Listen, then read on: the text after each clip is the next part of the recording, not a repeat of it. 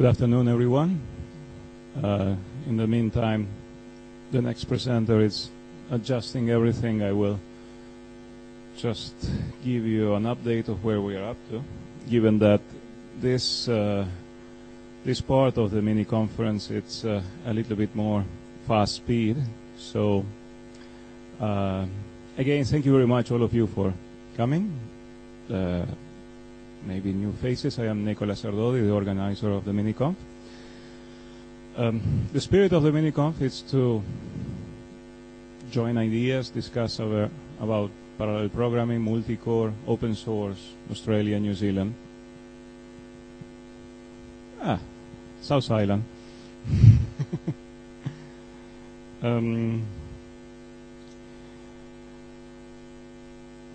half past one, five to we have view-oriented parallel programming. Zhiyi Huang is from the University of Otago. Then immediately after that, we have scientific computing. And when I say immediately, it means that probably it would be good to start to finish the presentation five minutes before, or maybe the dynamic that we had with the previous presentation with James that could work about the questions. But what I'm trying to do is to keep uh, moving everything so all of the presenters that have been doing have been doing a really good job on preparing for the conference. So all of us, all of you, have time to uh, reach the conclusion that I'm aiming to present.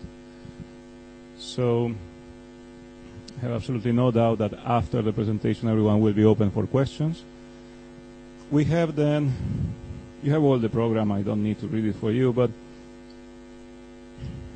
then we have half an hour for an afternoon tea, which probably will be consumed for questions. And uh, the last part ends with a panel and the birds of a feather, which the aim would to organize that, it's again, as I say, the idea is to discuss together. Is this something that could be done from here to the rest of the world about this? Is there a community in Australia and New Zealand about open source parallel programming? Is it worth to explore that? So that's the idea. Thank you very much. Good. Yeah, today I'm going to talk about view-oriented parallel programming. I'm from Otago University, and uh, I've been working on parallel programming or parallel computing for about 20 years. Uh, this is just our recent work on parallel programming. Uh, this morning, uh, James and uh, Lens, they have talked about the different programming styles. James basically focused on uh, share everything programming style, and uh, uh, Lens talk about uh, message passing style. So basically, I'm, today I'm going to going to talk about something in between. It's a kind of a mixed model. So we all know we need to do parallel programming. Uh, it's not inevitable given the memory wall or given or the power power problem. So we have to uh, get on board with parallel computing. And uh, actually, the essence of parallel computing is a kind of multitasking. So we are very familiar with it. I think our human beings are very uh, are natural multitasking uh, performer. So basically, we can do parallel cooking. You know, you can use multiple stoves to do this uh, multiple things at the same time. So we are in, I think in principle, we are get used to it. But however, why parallel programming seems so difficult uh, in reality? So I'm trying to address this kind of difficulty, uh, fundamental difficulty for parallel programming.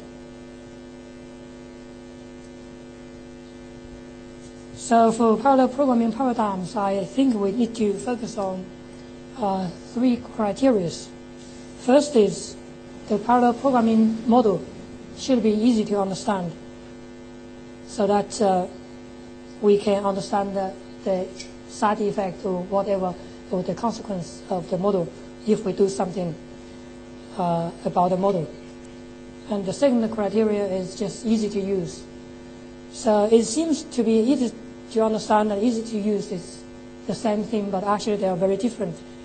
Uh, for example, like MPI model, message passing model, is uh, very easy to understand because it's very simple. You just send and receive messages.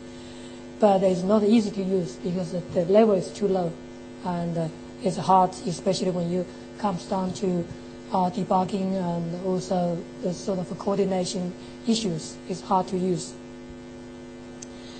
And uh, the third one is, of course, is uh, enable high performance. That's also the key point of parallel computing. Otherwise, we don't need parallel computing. The essence is we need high performance so that we turn to parallel computing. And the fundamental issues in parallel computing is basically uh, one is time, one is space. So if we look at the parallel computing, uh, the time issue is about the synchronization between different computing entities, like different tasks, uh, that they are ordering uh, or the, how to schedule them, load balancing, those sort of issue. Another issue is basically about uh, space problem, how to avoid collision between you know, uh, different computing entities to avoid issues such as data race. So those two issues, uh, like mutual exclusion or data race, are actually hot issues in parallel programming. And actually, the time and space issue they might convert with each other. Uh, for example, uh, in message passing interface, there was no seems there was no uh, space issue because they have converted a space issue into a kind of time issue. So they avoid space conflicts by using message passing. So basically, I going to I'm going to compare uh, these two different styles, like uh, share everything and also message passing model in general. So basically, we have uh, traditionally we have two camps. One is shared memory model, another one is message passing model. Message passing is really easy to understand because everybody think, oh, that's easy. We get the essence, we just pass the messages. But actually, it turned out to be very difficult to use. And uh, I often heard about the complaints from MPI users that they think it's very hard to use uh, MPI or message passing, especially when the number of processors is increasing. Uh, shared memory model is relatively easy to use and uh, is very straightforward. Basically, you just share everything. But sometimes we have difficult problems. It's hard. It's difficult to understand the issues. Sometimes, like uh, data race or deadlock, those kind of issues are there, and sometimes we have low performance.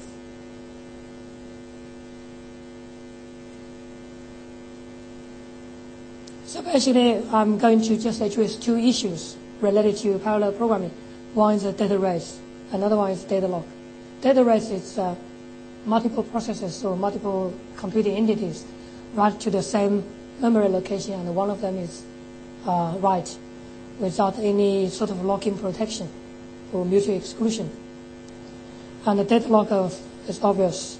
So those two issues actually are very hard for parallel programming with when you use parallel programming with shared memory, uh, especially when we stress the software reliability is even a further problem regarding that the sequential problem is already a problem. We have a buggy software, but now with uh, parallel software is actually uh, this problem is ex- exacerbated because uh, the data race is even harder to debug, and also deadlock is is also hard to debug as well. So basically, we have some solutions, actually uh, more new solutions from the traditional lock-based programming. One is the transactional memory, which can avoid deadlock because uh, it can roll back uh, if there's any conflict regarding the access of the shared memory. Uh, but it still has a data race issue because there's potentially, if you don't use transaction, then uh, you might different computing entities might access the same memory location and cause data race. Uh, another solution is uh, what we are proposing. We call it view-oriented parallel programming, which actually uh, use shared memory, but not automatically. So in this morning, uh, I think a gentleman mentioned that why shouldn't we start just share everything style? Why not we share, start share nothing style? So basically through VOPP, we start with share nothing, but when we want to share, we use view. So that's a kind of a, a, a style between share everything and also share nothing. We share, but we share with some rules or with some uh, facilities for shared memory. And this kind of style can actually combine many different uh, programming styles like a, a lock-based mechanism or transaction memory together, and also can facilitate performance. So this idea actually is quite simple. We basically say any shared memory or all the shared data between the processors need to be partitioned into different uh, non-overlapping sets of data. So they are basically uh, divided into non-overlapping sets of data. And uh, initially we assume they share nothing. And once you want to share anything, you need to create a view. So this is basically what we call a view. A view is a set of data objects which can be shared by multiple processes. So basically at the moment we are using processes instead, instead of um, threads because uh, multi-threading share everything by default. And the generic VOPP rule is like a view should consist of uh, data sets, data objects, and they should be always processed as all or nothing set of data. Okay, so basically they are atomic. If you want to define a view, that means you use the whole set of data at one time. Should be guaranteed atomicity feature. And the view can be created and destroyed at any, any time. And actually, they can also merge and combine anytime. That's not a problem. And each view, we have a unique view identity, identifier. And we normally use the view primitives to acquire view. Before you want to access the view, you acquire the view. And uh, after you finish using the accessing the view, you use release view. And this kind of rule can be, of course, uh, relieved by compiler support we actually are addressing this kind of problem by automatically detect the view at the runtime or uh, by compiler support to uh, uh, to to to partition the view. Uh, but at the moment, uh, in this talk, we are want to share the advantages in general about the VOPP. So we, we are not going to talk about compiler support in this talk. Also, this idea is uh, language independent. We can actually basically uh, apply this idea to many other languages. So this is an example for uh, producer-consumer problem. And initially, we can allocate a view, just a view malloc, like if you use malloc to allocate a piece of memory. But however, that piece of memory is shared, not local. And once you want to access the view, you use acquire view, and with the view ID here, and you do whatever you want to change the data, and you produce the data, and after that you release the view, and that's the producer. For the consumer, it's just acquire the view for read-only access, and read the data and the process data, and after that release the view. So that's basically a, a very brief example to let you know the very fundamental idea of VOPP. Another example is a task queue. So we enqueue a, task. Uh, each time we, we create a new task and uh, we acquire the view before we create a task. And after that, we use the view ID to enqueue the task data. Each time when we need to process a new task, we just dequeue the task or dequeue the view ID. And then from there, we can acquire the view with the new ID, and then we process the task and release the view. So this is just another example to show you the style of VOPP. actually there are more uh, sort of uh, other situations we need to deal with, uh, or maybe very specific examples. We'll, we'll address that, uh, those specialties later. So the advantages of VOPP is it, it's really easy to use because it still uses the convenience of shared memory. We don't need to consider which processor we send the message. Instead, we just need to consider which view we need to acquire. And then once we get the view, we assume all the, the, the programmer can assume the view is get consistent automatically by the system. And also it's easy to understand. Uh, actually, at the moment for VOPP, we don't need any locking issue or mutual exclusion uh, concept in the in the model.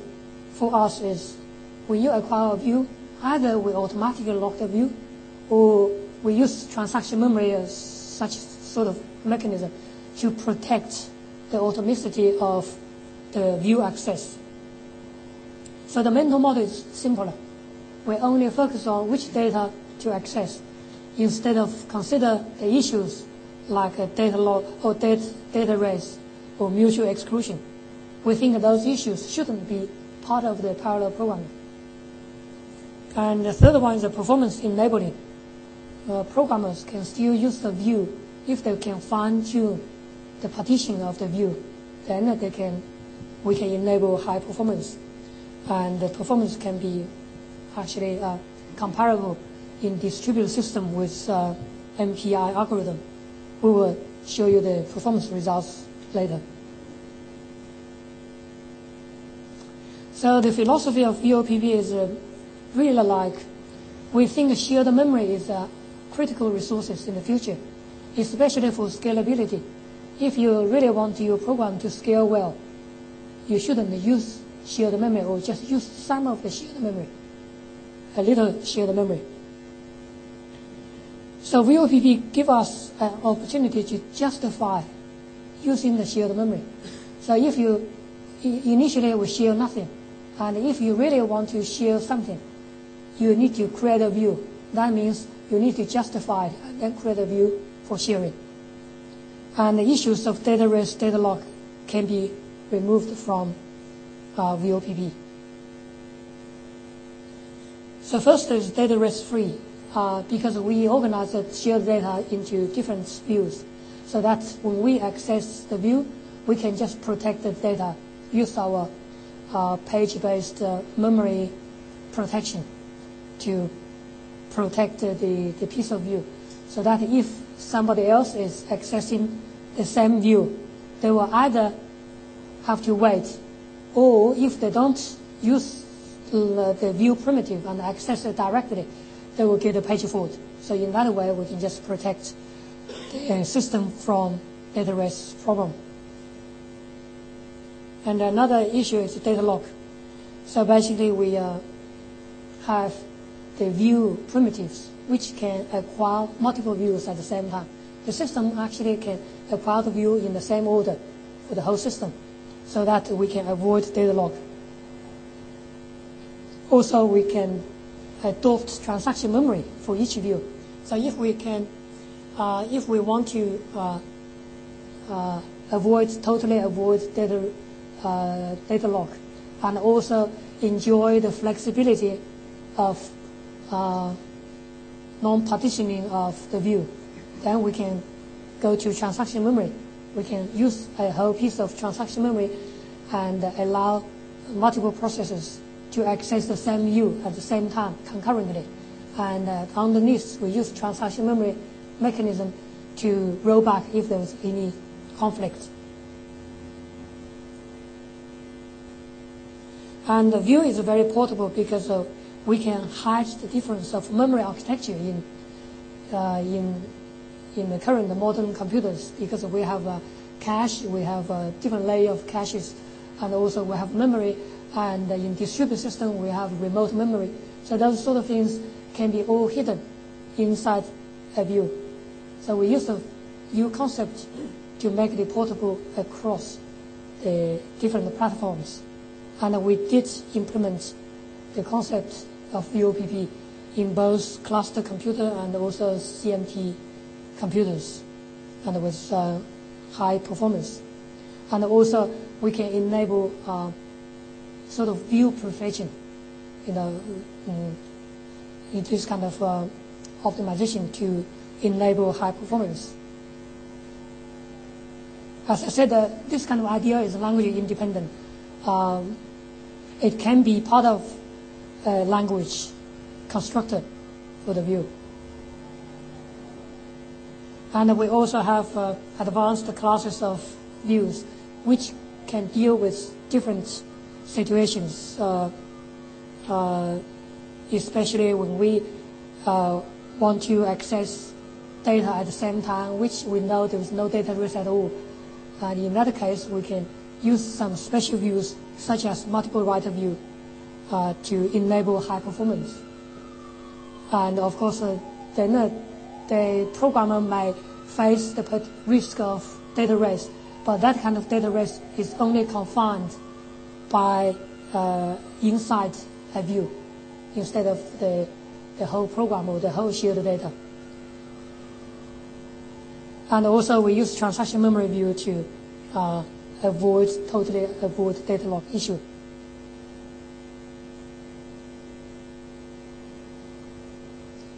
Uh, yeah, I'm not going to. I think that the time is a little bit. Uh, I have 10 minutes. Or 5 minutes, yeah. So I will show you some results anyway, directly to the results. We have implemented two systems based on VOPP. One is the VODCA, uh, which is based on cluster computer uh, and it's a distributed shared memory style uh, system. And another one is a Maotai, which is uh, based on CMT, and we have implemented on uh, x86, 64, and also uh, uh, Sun Niagara, near, Sun Niagara T2000s. And these systems are actually open source. They are on the GPL and if you are interested to have a try, you can send me an email and I can just give you the whole system. And this is the first experience is on cluster computer. We use a 128 Itanium 2 processor, uh, Itanium 2 processors running Linux. And uh, we have, at the moment, we don't have many uh, applications, but we have uh, integer sort Gaussian elimination and uh, SOR and uh, neural network applications to provide a preliminary performance results. And this is just show you uh, our performance with uh, compared with traditional distributed shared memory and uh, message passing interface MPI. And from the results, we will see that VODCA and uh, MPI are very close even though uh, VODCA is slightly uh, less scalable than uh, than uh, MPI, when the number of processors is higher, it's reaching 32. So these are these results are very similar.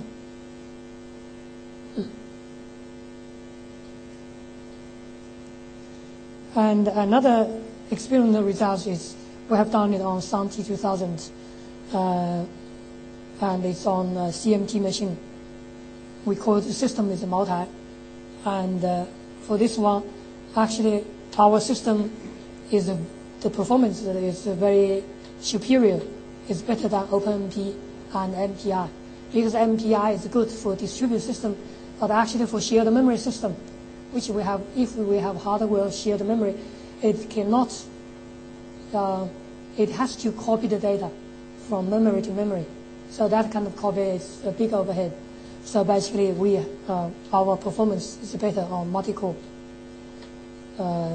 compared to.